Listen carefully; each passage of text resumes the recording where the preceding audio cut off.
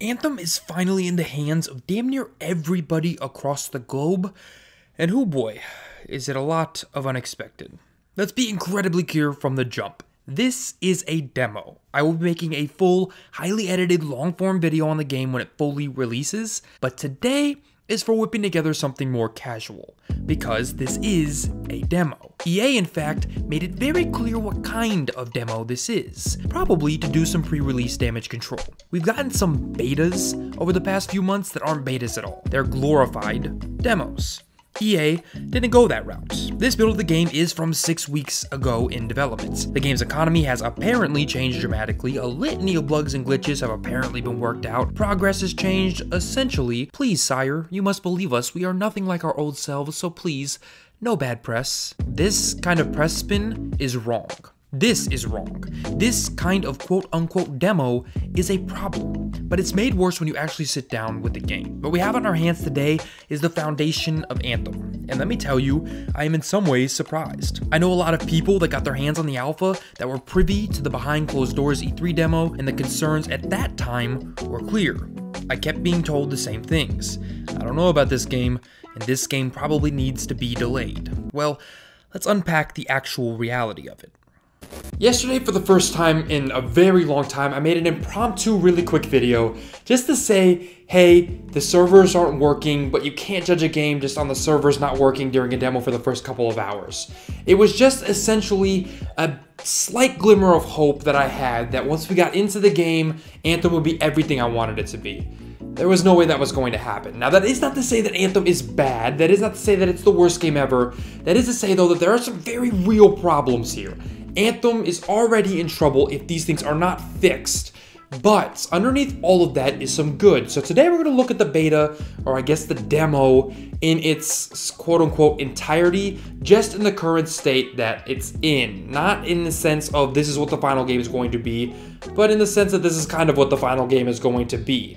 So today we're going to look at the good, we're going to look at the bad, we're going to look at everything, and talk about why Anthem, again, is already in trouble. So to get started, we have to look at, well, the first real problem with Anthem, which is the real problems.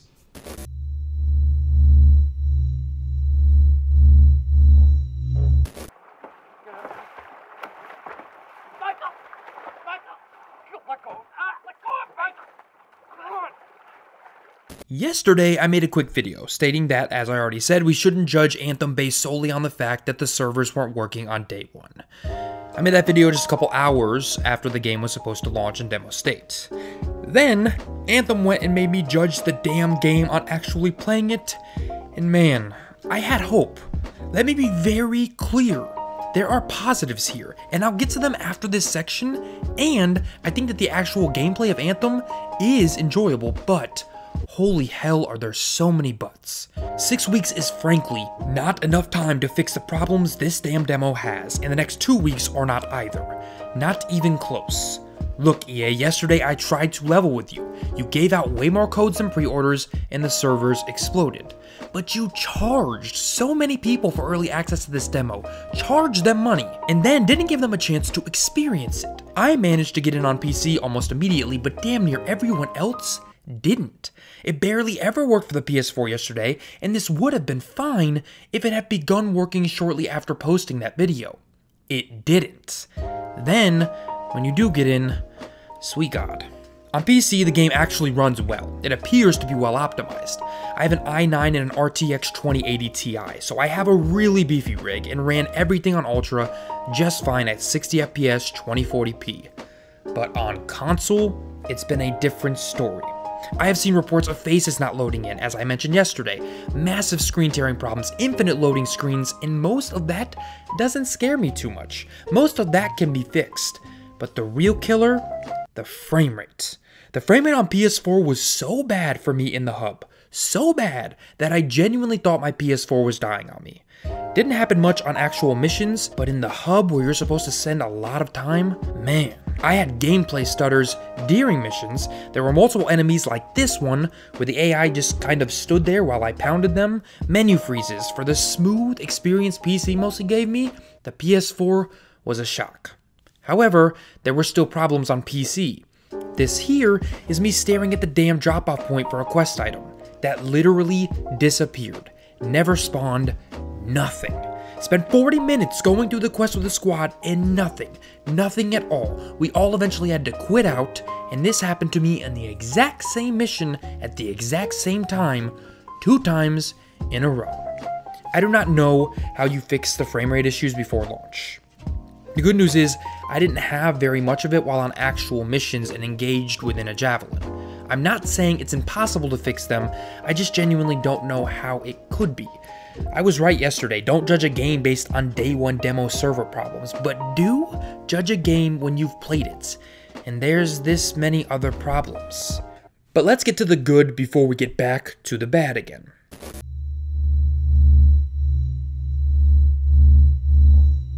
I can't get up! You're crushing us! Hang on, I'll use my rocket boots. Let's get the obvious out of the way first. Traversal and Anthem? My god. The comparisons to Warframe are not entirely unwarranted, but this is different. I am not sure how those mechanics are going to translate to the balance of a full game because as of right now, these javelins are unbalanced. There is an ice power in this game that is super overpowered, but they are some of the smoothest, most satisfying traversal mechanics in a game this generation. That is not hyperbole. In that original trailer, we saw someone go from ground to flying to swimming to flying to hovering like it was absolutely nothing, and most reactions were along the lines of, well, we'll see if we're really able to do that in the full game. You can, and it's just as smooth. This is the first time I've ever felt like a Transformer in a video game, and I've played Transformers games. Going from ground combat to air to get the hell out of there is buttery smooth, and it's commendable that BioWare, who hasn't exactly been known for their player movement options over the past decade or two, managed to put this together. Sure, it's a bit more complex Mass Effect Andromeda, but it's better. And this isn't simply a quality of life reality, this is Anthem. Let me clarify that. Anthem is, at its core, from a gameplay perspective, a third person shooter. So is Gears of War. Gears of War has a weighty but kind of awesome movement suite that involves rolling and cover sticking. However, you could play Gears of War and never give a lick about that, or even care to master movement. The same cannot be said for Anthem. Anthem is built outward from and around its movement system. Every encounter relies on your ability to understand that movement system and to utilize it to your advantage. Someone with a sophisticated understanding of this system can carry you right through almost any encounter. Understanding the nuances of this system, mastering it are essential, and most importantly, enjoyable. This is what movement in open world environments should be. You could say what you want about Anthem and some of the things I'll discuss in a minute, but playing Anthem is an experience that is idiosyncratic, novel in so many ways, although one could say it feels a lot like Warframe, that it's actually hard to move on from Warframe and play this, but regardless, to get into the meat of the quest structure might be difficult for some because flying and mashing your way through the world is such a damn good time. But there's another very obvious positive, working in Anthem's favor, just working off of the beta alone, which is necessary to discuss before we get back into the real negatives. This one is impossible to miss.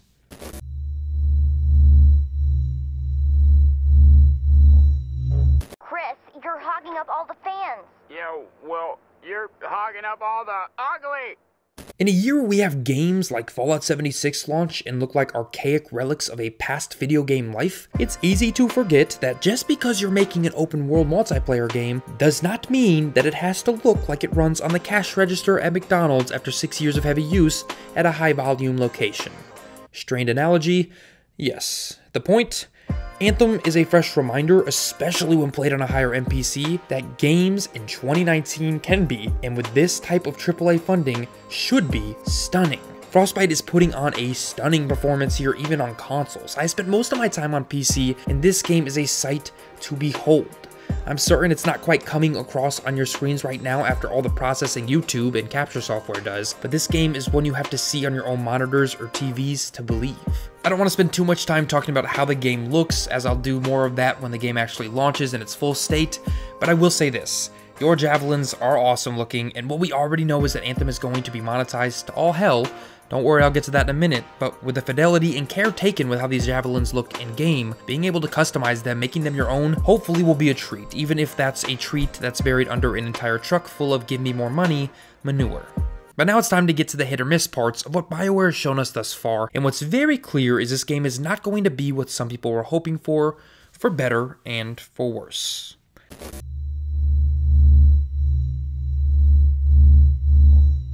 Tina, what are you doing? She's still here, Lois. Wasn't she supposed to leave like two hours ago? I thought so. I- Go ask her what she's doing. I'm not asking her. You go ask her. Let's start with the obvious. This beta did not launch as planned, as already mentioned. Problematically, many people played to pre order this game under the pretense of an early access to the demo. That access was limited day one for a lot of people, but most of the server issues can, I think, maybe be ironed out by release, even if it's unlikely at this point. After all, that is the point of server testing in these kinds of pre-release environments. Once you're in, it's about becoming your dream Iron Man. First thing the game does is send you to its hub. It's here where you can customize your javelin, swapping out weapons, colors, helmets, arms, you name it at the forge. It's a relatively deep suite of customization options that should do a good job of keeping people engaged with reward loops. It also ties into the microtransaction realities, but we'll get there. After that, it's out into the world to actually play the game. BioWare hasn't been the king of third person shooter gameplay, relying much more heavily on RPG mechanics, which makes it kind of astonishing that Anthem plays as well as it does. The third person shooting here is almost ubiquitously good. It doesn't matter if you're using a shotgun or a typical rifle, there is a weight here and a feel here that is exactly what you want out of any shooter, even if I don't love the bullet spongy, seemingly bulletproof enemies that you typically get in this genre. But speaking of shooting things, here's another problem. The game sounds pretty good, except half the time when you're firing your weaponry, the sound cuts out completely on PC. And I do mean completely. Or sometimes all of a sudden it'll get very, very quiet, like the audio file is missing, and then all of a sudden you can hear yourself shooting again. It got to the point where sometimes I was looking at my monitor going, am I actually firing my weapon or not? It's a problem. But underneath all that, I don't quite see the comparison some are making to Destiny. Yes, it is a MMO light, yes it is sci-fi, but other than that, they are quite different in how they play. Playing Anthem does accomplish the feeling of being, well, Iron Man. Gunning down enemies with friends can be enjoyable if they can get in, but most importantly, at least thus far, being a solo player doesn't feel too bad. Enemies aren't too challenging, your arsenal is capable of most of the work, and the loot grind is, at least thus far, reasonably enjoyable enough to keep you playing even by yourself. BioWare does retain at least a small bit of their grasp on narrative here as well. The second you land into the game, you are greeted with the gorgeous, albeit uncanny Valley character models and a book on a desk that begins to introduce you to the lore of the game. There is clearly a lot of it here. And talking to characters does still feed you dialogue options, even if they are incredibly dumbed down. But regardless, there appears to be story here and there appears to be lots of lore.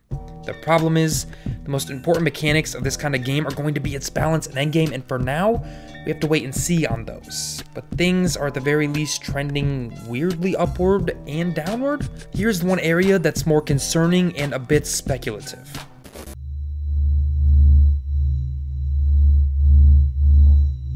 You know, it's just paper that some king on the mountains said was worth something.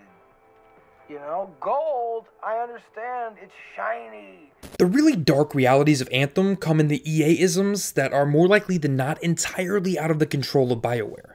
Is it good that the game does not include pay to win mechanics, the same way something like Star Wars Battlefront did at launch? Yes, it absolutely is. But just because a system isn't built to manipulate gameplay does not mean a system isn't built to manipulate you. It's interesting how much Anthem is now being compared to Warframe. Warframe is a free to play game with a cosmetic microtransaction system that is a la carte, and almost entirely free of any player manipulation. It's wonderful. Yet this very year we've seen Black Ops 4 release, microtransaction free, and then a month later implement an absolutely grotesque black market mechanic that is borderline unethical, all revolving around microtransactions. A huge juxtaposition there. People in the industry have caught glimpses of Anthem's store. Hell, you can see it in the demo. It's worrying that you seem to be able to use currency to buy crafting parts, which, assuming you can do so for rare parts, and assuming that currency is purchasable, which it's pretty clear it will be, it could indeed stealthily create a pay to win or at least pay to level your gear reality. Upon first blush, it appears that the game's cosmetic systems will be incredibly microtransaction heavy as well. This is unsurprising. The real question that can't and won't be answered until the game launches in full at least is whether or not this system is integral to endgame loot progression and whether or not this system creates a Destiny-like social strata in which pressures to keep up with these microtransactions eventually wins out, they become purchased more, and the microtransactions become more aggressive as a result. If BioWare and EA can find a balance, a happy medium that keeps the suits and ties at EA happy with the reoccurrent spending opportunities, while also allowing BioWare to maintain their gameplay and progression system sanctities, there's no reason at all to be super concerned about the ability to engage with them. If, however, EA mucks this up and pulls an Activision and implements a far shadier system post-launch or the system that is there is tough to begin with, Anthem and BioWare ship could sink along with every bit of Stark tech in the game. Anthem's demo is just that, a demo. It rather smartly avoids showing all of its cards too early, and instead provides a simple glimpse of the foundation that the game is being built on top of. But I'm afraid this is because EA knows they don't have a good hand, and are holding out hoping we fold and buy before they have to show it. This is not a beta. Our feedback is not going to change what this game is when it launches in just a few weeks' time. But there really isn't any wiggle room for changes in the first place in this period. It is very clear what Anthem wants to be a gameplay first BioWare game that sheds a lot of the narrative weight that has been the identity of the studio for years in favor of multiplayer hop in, hop out carnage. This is going to disappoint a lot of people that were hoping for a more traditional narrative from BioWare. It isn't absent, it just appears to have been deprioritized. In many ways, for reasons like these, Anthem may still be a tough sell for people. But what's important to say is this Anthem has had an incredibly rocky development. Turnover amongst higher ups on the project has been remarkably high, and the shakeups in development almost certainly had an effect on the game. But for the game to be essentially fighting from behind and put on a first showing that inspires even a marginal amount of hope in at least its gameplay is something I guess worth commending. That is great, but the reality is in the problems.